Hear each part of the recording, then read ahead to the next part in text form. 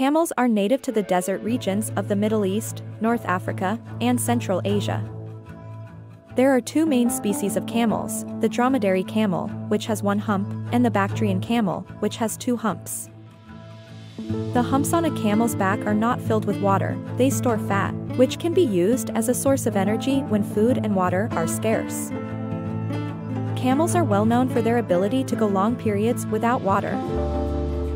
The large, flat feet of camels act like natural snowshoes in the sand, helping them walk on soft desert terrain. Camels have a special inner eyelid called a nictitating membrane, which helps protect their eyes from blowing sand and harsh desert winds. These animals can close their nostrils to keep out sand during sandstorms.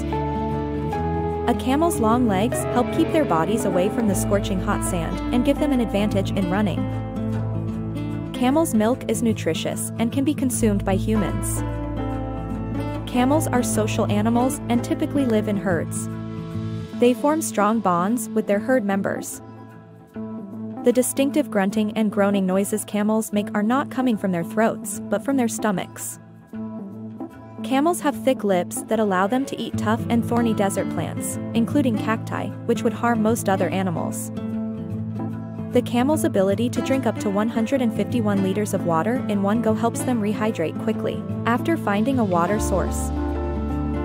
Their body temperature can fluctuate significantly, allowing them to conserve water and stay cool in hot temperatures.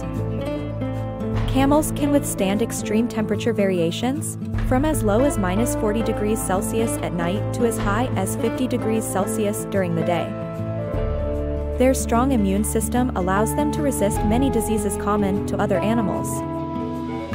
Camels have a keen sense of smell, helping them locate water sources from miles away. In the past, camels played a vital role in trade along the Silk Road, carrying goods between Asia and the Mediterranean.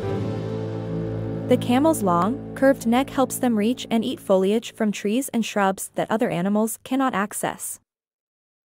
Domesticated camels have been used for transportation, carrying heavy loads, and pulling carts for thousands of years. Please don't forget to subscribe. Thanks for watching. See you in the following video.